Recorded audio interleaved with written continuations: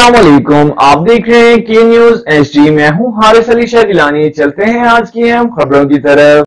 تازہ ترین خبروں سے باخبر رہنے کے لیے ہمارا چینل سبسکرائب کیجیے پاکستان کوسٹ گارڈ کی منشیات اسمگلنگ کے خلاف بڑی کارروائی، پاکستان کوسٹ گارڈ ملک کو منشیات سے پاک کرنے کے لیے پرعزم تیئیس مئی کی رات دس بجے بلوچستان کے ساحلی علاقے گوادر میں خفیہ اطلاع پر پاکستان کوسٹ گارڈ نے ایک مشکوک کشتی قبضے میں لی۔ کشتی کی تلاشی لینے پر بھاری مقدار میں آئس برامت کر لی گئی۔ برامت کی جانے والی آئس کا وزن دو سو تہتر کلو گرام ہے، جبکہ اس کی مالیت چون اشاریہ تین ملین ڈالر ہے۔ پاکستان کوسٹ گارڈ مستقبل میں بھی منشیات اور اسمگلنگ مافیا کے خلاف بلا تفریق کاروائیاں جاری رکھنے کے لیے پرعزم ہیں۔